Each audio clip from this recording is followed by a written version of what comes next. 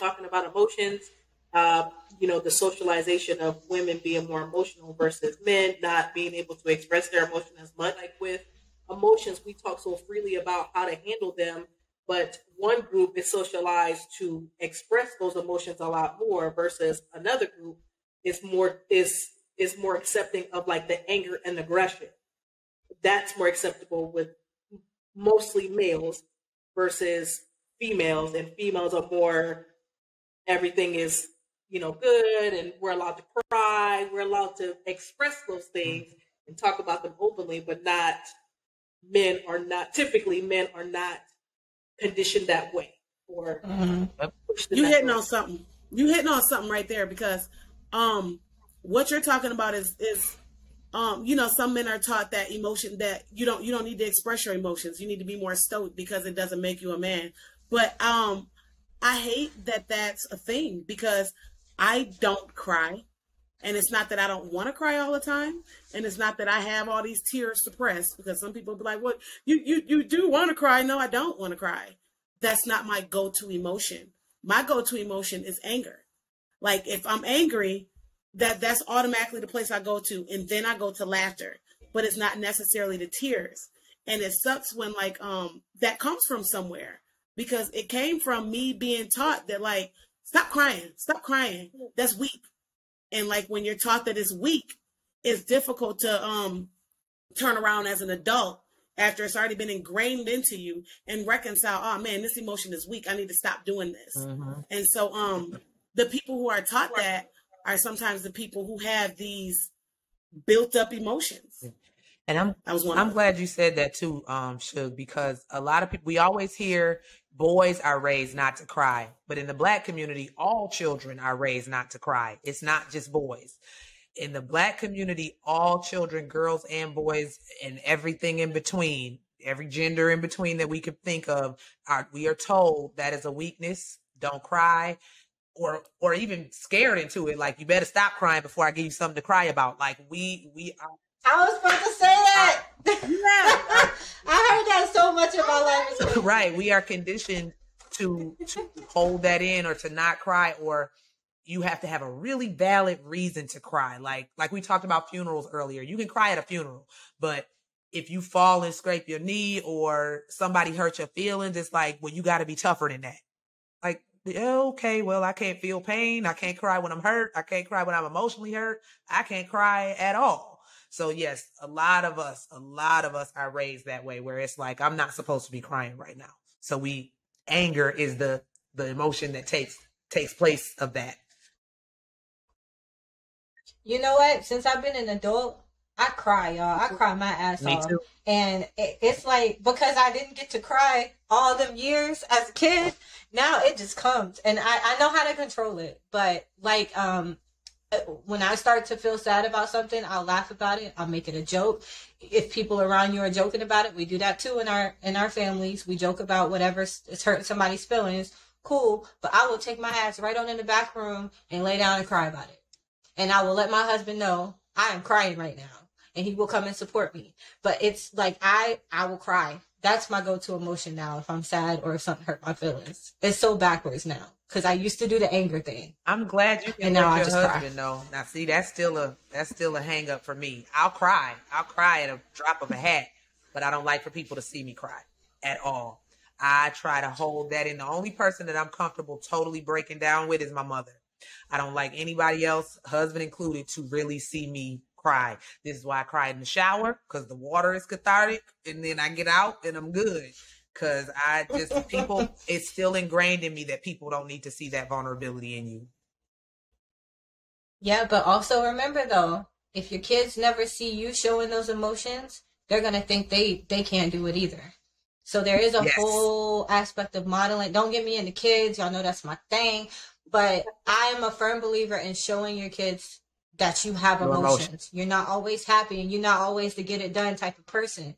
You break down sometimes and they need to know it's okay to do that too. I have consciously had to do that. Consciously had to cry in front of the kids, like not try to wipe it away when they walk yeah. in. I'm like, no, nah, just let them. Yeah. And, and then they, that makes them more empathetic too, because they'll, my one son, he'll come up to me. He came up to me today because I've been having an off day. He came to me today. He said, mom, can't you just tell me what's wrong with you? You told us to tell tell tell you what's wrong with us. Can't you just tell me? Verbalize it. Like these this is what he said to me. he said, verbalize it. I said, I'm I said I'm fine. He, oh. I said I'm fine. He said, No, you're not fine. You don't even look fine. You can just tell me. So that that makes them more empathetic to to for, to see you in other states, in other frames of mind, and other emotions. Yeah. Yeah. I tend to withdraw if I have to show emotions. I'll isolate and be by myself. Uh, Me too. But, but that was also pointed out to me by one of my friends. Like they were like, "You got hurt, and now you're upset and been angry about it, and you just withdraw and you didn't express how you feel. So how am I supposed to know? How are they supposed to support me if I was not willing to be vulnerable enough to show them that emotion or show them that I needed help? And so sometimes I think that when we get those when those emotions come up, those strong emotions especially come up, we don't even know how to ask for help or don't even want to show them that we need help. And then we're out here on our own trying to handle our emotions by ourselves when really we just need to reach out to someone who can be. And I think that for today, that was very useful for you, Ashley. We all noticed that you just, there were things going on. So he's like, you know what? Let's switch it up. Let's make sure that we give you the space that you need and to make this a, a, a safe space and she wasn't she wasn't gonna dare say, nah, I'm not up for this today. We had to like be like, no, we switching it. Um, yeah. but I was gonna tack onto that and say also people are not mind readers. So for y'all people that go and isolate and don't tell nobody what's wrong with you and then get pissed off at your husband or your friends or whatever when they didn't come and rescue you or help you or support you, you can't do that. People can't read your mind. We can't read your body language all the time either if you hide and stuff. So you do have to, like Keisha's saying, you do have to at least let people know what you need or when you need it. Or have a conversation with those people and say, hey, you know what? I realized that the last time I was upset, I was doing this, this, and that. Like, can you look out for that next time? If you see me doing this thing, like, make it explicit for people because we cannot read your mind. You got to tell people when you That's need to true. Some people, some people, those who isolate, I'm one of them. Stay away from me. Um, sometimes have to go and recenter themselves because I am I I can be explosive, and um I have learned to deal with that side of me to whereas it's like I'm gonna hurt some feelings. I'm about to damage some relationships. Yeah. Some things is about to happen, and y'all ain't gonna like me when I'm finished, and it's gonna be okay with me for the next five years. And so when you get people like that, um, sometimes those people do need to go and center themselves or they do need to get alone be alone and so always love bombing which is like just the overabundance of love and being over the top with people is not always good when some people need to sit with their emotions because um you know sitting with your emotions sometimes stop you from saying some very hurtful things or ruining some relationships and that's just my experience and um, you know what I see. I think I think that's, that's a, that's I think that's an experience for others too. I I just had a couple that I'm mm-hmm. working with where she needs to isolate for that very reason. When things get crazy or they're disagreeing, she said, I need to isolate to recenter myself. He doesn't understand that. So he's like, well, I want to support, make sure you're okay. I'm like, but if she need, if she is explicitly telling you I need to be alone for just a moment to to center myself, then that's what you give. And then we actually did some great work in that session because the root to why she needs to isolate to center herself, she said, you know, I didn't have those parents that that asked me how I was doing, that came in and checked on me. So I learned to take care of me. I learned that it was just me that I had to depend on. So now it is very hard for me to depend on other people. So I need that alone time. So it's very interesting to think about the roots of that. Um, and also another quick thing for me, I isolate as well, but also I struggle when people do reach out and ask me the I swear this is one question I hate and I know it's coming from a good place, but when people say, How can I support you? I'm like, I don't know. I just don't know. I don't know what to tell you. I don't know what to tell you. oh, you get that? Because I get, I get the what's wrong with you. Get, That's the one I get, and I'm like, I get Damn. the what's wrong with you from a lot of people, from other people in my life, but, but like I have a, I have one friend in particular who always says, "How can I support you?" And I feel so bad because I don't know how to answer that question. I don't know what to tell you to do. I just be like, leave me alone and um come back to me later. Like I'll come to you That's more of me. It's like I'll come to you because I'm I am pretty transparent, and some people are pretty transparent. If you get somebody who's transparent and they have to isolate for a while, sometimes they they might be trying to harness that transparency and then be like, okay, well, let me come to you later on. But when you are that person that needs to harness that and needs to come to people later on, you also need to be like, I need a moment. So I teach my kids to say, I need a mm-hmm. minute. Mm-hmm. And d- just because I, I don't want to have you following me and harassing me. And then, then I'm like, well, she won't leave me alone. But they don't know that you need that right. alone time. They don't know that you need to center yourself. And that's called emotional regulation, yes. which is when you are taking care of your own self so that you can manage your own right. emotions.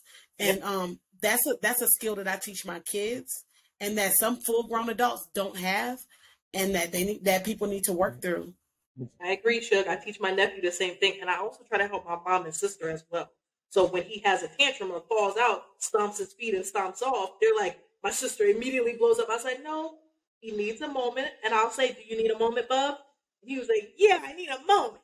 And then he stumps off, and I'm like, okay, we'll be here when you're ready to come back and talk. And he said, and he'll go off and he'll wait like it'll be like five minutes pass, and then he'll come back. And I try to get them to regulate, and so I try to teach them co-regulation. Yes. Like y'all mm-hmm. regulate, yes. he regulates, and now everything's good. Yeah, he stopped off. So what? He's feeling an emotion. We have to acknowledge that kids have emotions. They just don't know how to verbally verbally say it like we do. If we're frustrated, we say we're frustrated. When a kid's frustrated, he's slamming doors, stomping his feet, whatever else he want to throw something. That's how they mm-hmm. express their emotions. That's some adults. That's some adults too. Some adults don't know yeah, how to say. They don't know what feeling they're yeah. feeling. They'll say that they angry, and actually you they hurt you hurt their feelings, and they're actually sad, but they gonna act like they mad, and they gonna say they mad, and they just don't know what they feel. So adults. Anger is an easier emotion. Right, Anger right. is an easier emotion to tap into. Um, and then two, but you got to make sure when you say I need a moment, you have to come back you can't just stonewall. Stonewalling is a is a Gottman concept where you walk away and you don't bring it back. You don't come back. Like you just stonewall and don't talk and don't say anything and don't come back to the situation at hand. You need your space. You need your time to recenter, but you have to come back and talk about those things because otherwise they just fester and now we go and blow up over something small later. So you have to come back, talk it through. But yeah, isolating to center yourself, that is perfectly acceptable. Um, and with kids in particular, making sure you come to their level, like the way Keish just explained it is beautiful because when you escalate with anybody, they're going to escalate with you. People typically match energy, especially kids. Yeah. So if you are, if a kid is having a tantrum and you start yelling, they mm. don't know anything else to do but to escalate further. If you want somebody to calm down, you have to actually appear calm and they will start to mirror you. They will start to mirror you if you do that. So with the kid, get down to their level, not, eye level. Not my three year old. Get eye level with them because you also have to realize as an adult, you're way bigger than this kid. So if you're standing over them, that's a fearful thing. Get down to their eye level, calmly talk to them, and they will likely come down as opposed to go up. But we know as adults, if somebody come at you screaming, what you gonna do? Scream back. So you match energy. So if you come yeah. to somebody calm, they're more likely to be calm. When, when I use the thing in therapy, yeah I think we we also need to put out there that this isn't going to go perfect every it's time. Not. Like, oh, this is going to be if, if I calm down. No, because my nephew gets on my nerves sometimes, and I have slipped up and started yelling. But then I have to realize that okay, Keisha, you calm down, he'll calm down. Yep. So yeah, mm-hmm. yeah. I'm glad you said that because people think that therapists are always sitting in there like, all right, honey, let's engage your nervous system. And that's not what we're doing all the time. We yell, we yell and we act this yeah, like we do that too. Some therapists spank. Um, I spanked my kids. I will never sit over here and lie and say I don't. Um, you know what I mean? I, I believe in sometimes positive punishment. I, I I sometimes lose my cool and have to go back and apologize to people because I've acted a plum fool.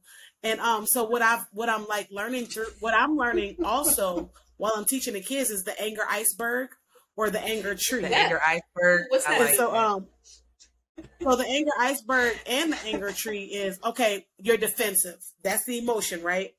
But then under every single emotion, there's a reason why there's that emotion. And so mm-hmm. just like that, that's one of the branches. But then you go to the reason, the root is up under, right? It's up underneath the soil, up underneath everything that's been going on with you. So why am I defensive? Okay, let's get to the root of it. So then the root might be because everybody always came at me and made me feel like I was stupid when I had something to say.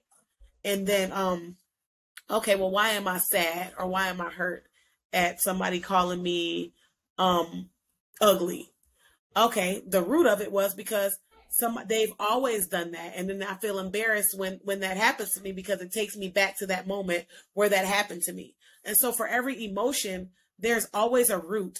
And we might not always be thinking about that root at that time but later on when you self-reflect and self-reflect is looking at everything that's happened to you or you know i mean just looking at how you were in the situation and how the situation affected you and why the situation affected you when you self-reflect you might find out okay that wasn't her stuff to hold. She was just trying to be nice by saying, um, how can I support you? But I took offense to it because I've never been supported in my life. Mm-hmm. Mm-hmm. Soundstripe.